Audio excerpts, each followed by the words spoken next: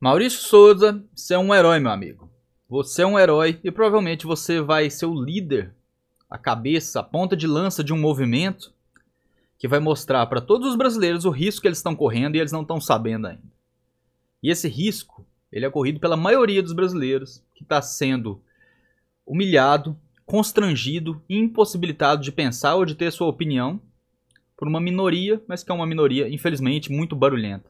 Vou mostrar para vocês o que, que eu estou falando. Comentário homofóbico em rede social deixa Maurício Souza sem clube e sem seleção. Jogador de. Isso aqui tá no El País, né? Que é um dos jornais mais esquerdistas do Brasil. É uma liderança do esquerdismo no, no, no país. E eu vou, citar, vou, vou mostrar para vocês, pessoal. Vou destrinchar como a imprensa pensa e como a militância LGBT pensa, para que vocês vejam como eles falsificam acusações de homofobia para prejudicar aquelas pessoas que eles não gostam, ok? O jogador de vôlei foi dispensado do Minas após pressão dos patrocinadores por postagem no Instagram. treinador do Brasil diz que a equipe também uh, que equipe não tem espaço para profissionais homofóbicos. Ou seja, o treinador da seleção brasileira também já disse que não vai mais chamá-lo, né? Uh, e tudo aconteceu, pessoal, por causa disso aqui. É, ele postou essa imagem, né, da, da DC Comics, falando que o, o, novo Superman seria bissexual, e ele não gostou. E ele tem todo o direito de não gostar, tá? Ele não disse que as pessoas precisam ser agredidas, não, seja, não disse que as pessoas precisam ser excluídas da sociedade, uh, não disse que essas pessoas devem ser impedidas de entrar em estabelecimentos, não devem ser impedidas de matricular seus filhos na escola. Ele simplesmente disse que não gostou de um certo tipo de comportamento. Isso não tem nada a ver com homofobia. No entanto, por que, que o estagiário, uh, estagiário ou jornalista, não sei como que é isso aqui, uh, não faço muita questão de saber também. Mas por que, que o El País já, já, já destila a matéria, já escreve a matéria assumindo que ele foi homofóbico? Então aqui, ó. A rescisão acontece duas semanas após o jogador publicar um comentário homofóbico. Ou seja, toda a imprensa que você vê que for noticiar essa notícia já vai tratar ele como tendo cometido o crime de homofobia, tá? Prestem muita atenção. Por que, que eles fazem isso? Aonde, em qual lei diz que você não gostar de uma revista publicar uma imagem dessa é um comportamento homofóbico. Qual lei no Brasil? Eu desafio qualquer jornalista no Brasil me mostrar qual lei. Desafio os ministros do STF, que em 2019 é, passaram uma lei, né? Passaram uma lei, não. Em 2019 eles tomaram uma decisão equiparando o racismo, a homofobia, ao racismo, tá? Então desafio todos os jornalistas do Brasil e todos os ministros do STF que passaram essa lei, que acharam que assim estariam combatendo uh, a homofobia, me digam aonde está, em qual, lei, em qual lei está aqui você criticar uma revista por publicar uma foto dessa aqui para você não gostar de certo tipo de comportamento é homofobia. Vocês não vão encontrar essa lei e essa lei não existe. Sabe por quê, pessoal? Porque homofobia no Brasil ela não é definida em lei. E homofobia, ela tem, se você for olhar a etimologia da palavra, você vai ver que ela tem uma, um significado muito preciso. Só que hoje em dia a militância LGBT ela utiliza o termo homofobia a seu bel prazer. É praticamente um buffet, onde eles escolhem quais pessoas eles vão denunciar e colocar toda a sua força, porque eles têm muita força na mídia, têm os melhores empregos na mídia.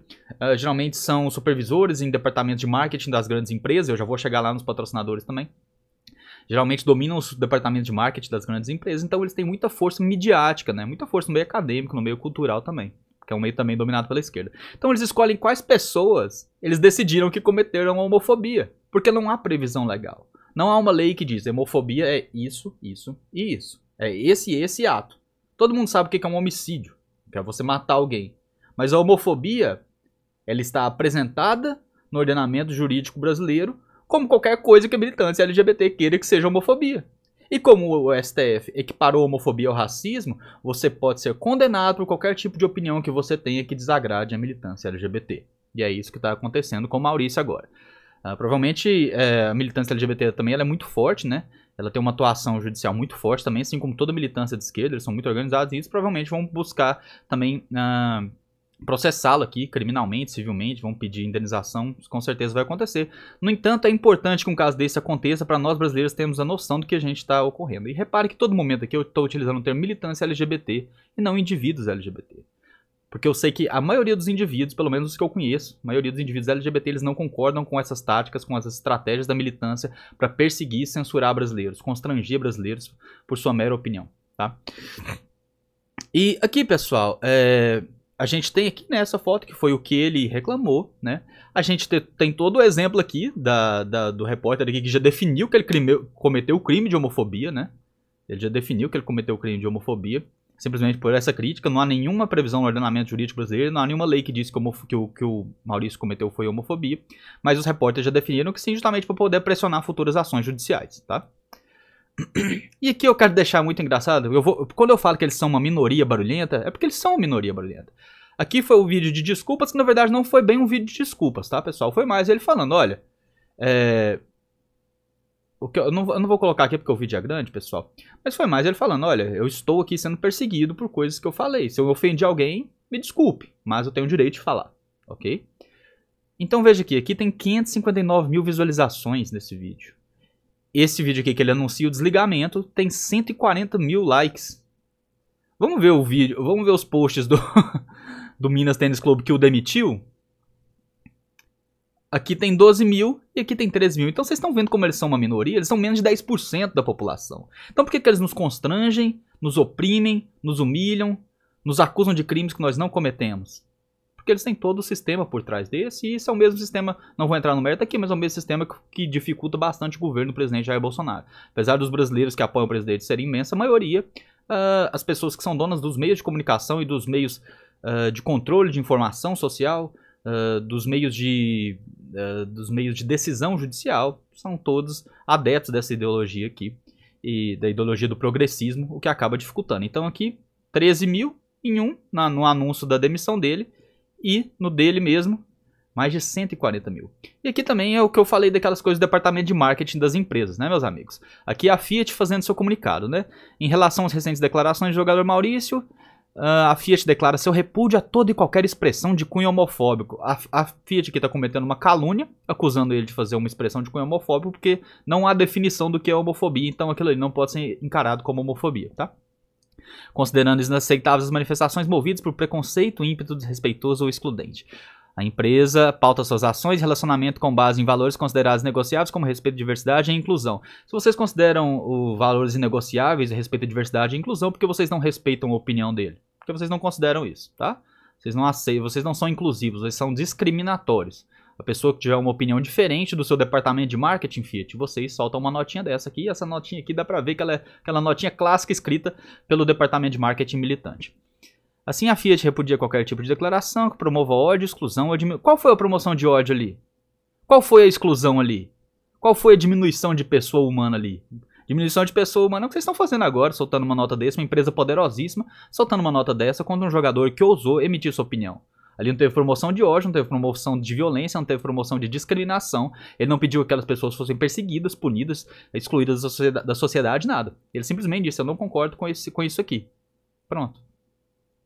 Medidas cabíveis e necessárias no espaço mais curto de tempo possível. Olha, muito bonito, Fiat. Não, assim, lindão. Parabéns mesmo, muito excludentes, assim, é, muito inclusivos a nota de vocês, né? Deu até vontade é, de comprar mais, mais um carro desse aí para o motor fundir. Uh, mas a verdade é que vocês não acreditam nisso aqui. Quer que eu prove que vocês não acreditam nisso aqui? Fazer notinha para agradar a militância esquerdista, porque vocês têm medo da militância esquerdista, apesar como eu já provei que ela é menos de 10% da população brasileira, mas controla a população brasileira, fazer essa notinha porque vocês têm medo de reação de redes sociais? Isso é muito fácil, né? Muito fácil. Eu quero ver o seguinte, toda vez que chegar alguém para comprar um carro nas concessionárias de vocês, vocês façam o seguinte, provem que vocês são inclusivos. Mostrem essa foto aqui, tá? E fala pro cara que tá comprando o carro o seguinte: olha aqui, meu amigo, eu só vendo o carro para você se você achar isso aqui bonito. Ou você apoia essa foto aqui, essa revista da DC, ou eu não te vendo o carro. Aí eu acredito que vocês realmente estão preocupados com a, com a inclusão que vocês falam que estão. Porque até então vocês só estão jogando pra torcida, brincando, deixando seu departamento de marketing tomar decisões que no futuro vão prejudicar a empresa fingindo, acusando falsamente pessoas de crimes que elas não cometeram. Façam isso. Chegue no todo cliente que entrar no concessionário de vocês, emitam essa nota interna para as concessionárias. A partir de agora a gente só vende carro com quem achar, isso, com quem concordar com essa decisão da DC eh, de, de transformar o Superman uh, em bissexual e tem que achar bonito também, não só concordar, tem que achar bonito, tá? Porque se não achar bonito está sendo discriminatório, está sendo homofóbico. Façam isso, aí eu, eu acredito em vocês. Até então, é só falácia, é só conversa fiada. E aqui, o meu amigo Alexandre Zibenberg, ele matou a charada, né? A verdade é essa aqui mesmo. O real motivo da demissão do jogador Maurício é esse aqui, ó, porque ele apoia o Bolsonaro, né? Então essas empresas, Fiat, Gerdau e todas essas que entraram no meio, o Minas Tênis Clube, uh, se fosse outra pessoa, tá? Se fosse um apoiador de esquerda, se fosse um apoiador do Lula, se fosse um atleta de esquerda, podia ter feito o que quisesse, tá? Podia ter posado com a foto do presidente Bolsonaro, decapita cabeça dele decapitada, que essa pessoa seria uh, parabenizada, receberia até um aumento, tá? Mas como o Maurício apoia o presidente Bolsonaro, então ele não tem espaço para emitir sua opinião, seja ela qual for. Pessoal, só para lembrar para vocês que o ator José de Abreu, ele cuspiu na cara de uma mulher. Ele cuspiu na cara de uma mulher num restaurante e manteve seu emprego na Globo. Vocês acham mesmo que esse pessoal tá preocupado com inclusão? Então fica aí o questionamento. Obrigado a quem acompanhou. Maurício, mais uma vez, você é um herói. Sinto muito pelo que você está passando. Não peça desculpas. Eu entendi que seu pedido de desculpas não foi um pedido de desculpas, foi um desabafo, né? As pessoas precisam entender isso também. Não peça desculpas, você não está errado e você provavelmente vai liderar um movimento que agora os brasileiros precisam acordar. Porque esse tipo de comportamento da esquerda ele é cada vez mais agressivo e ele vai na direção de nos cercear, de nos constranger, de nos denunciar por crimes que nós não cometemos para nos calar para fazer com que todos tenhamos uma unidade de pensamento. Ou você pensa como um esquerdista, ou você defende as coisas como um esquerdista defende, ou você é um homofóbico, que o STF equiparou ao racismo, ou seja, você é um racista e você merece passar pelo menos 5 anos na cadeia de um crime inafiançável. E a gente não pode deixar que isso aconteça, que aconteça. Eles não podem distorcer as leis, não podem distorcer uh, a moralidade, a civilidade do país ao seu bel prazer para colocar pessoas que eles não gostam na cadeia. É isso, pessoal. Obrigado quem acompanhou. Não esqueça de se inscrever no canal, deixe seu like, seu joinha. Compartilhe esse vídeo com seus amigos no WhatsApp. Muito importante para todos nós para chegar mais informação para os brasileiros. Grande abraço, fiquem com Deus. Até a próxima.